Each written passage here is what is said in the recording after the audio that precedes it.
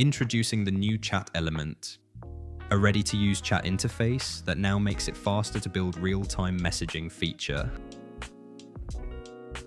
It comes with built-in support for one-to-one or group conversations. You can bind your chat data to your data source and map the fields, sender ID, text, timestamp, and attachments. Then add the participant details, unique ID, name, avatar, location, and even status. Once you mark the current user, the conversation flow is automatically managed. Users can attach files, view conversations grouped by sender, and navigate to new messages automatically. And you can even localize timestamps and labels like today, yesterday, or just now. Saving new messages is easy with the on message sent trigger.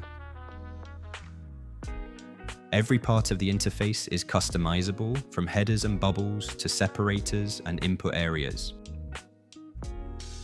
With our new chat element, you can shape your chat experience exactly the way you want.